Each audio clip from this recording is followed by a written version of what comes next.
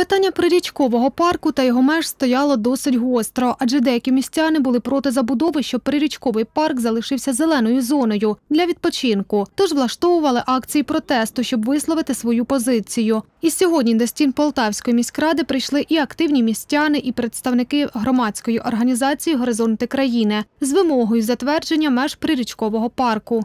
Ми зробили звернення про узаконення меж річкового парку для того, щоб потім надати йому кадастровий номер.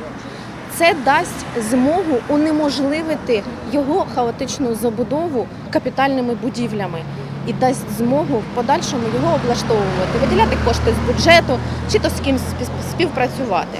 Перед цим питання обговорювали на комісіях, тепер же винесли на сесію. Тож наразі люди сподіваються на підтримку депутатів.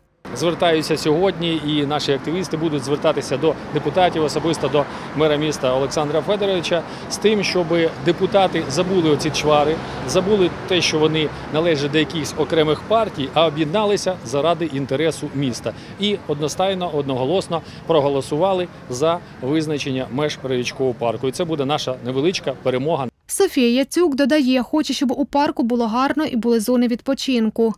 Я сьогодні прийшла для того, щоб відстояти наш прирічковий парк для нас, для дітей, для всіх людей Полтави і для Левади.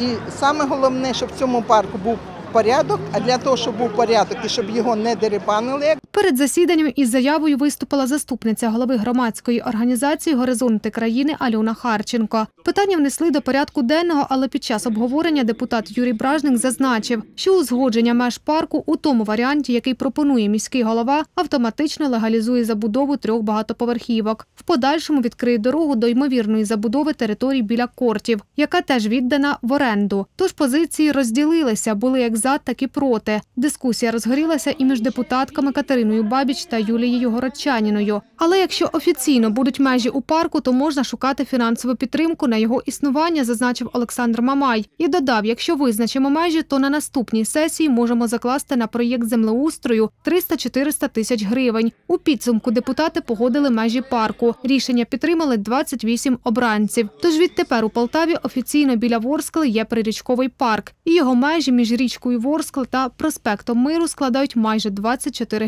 гектари. Анна Ружін, Максим Гуміров, Сергій Глоба, телеканал Центральний.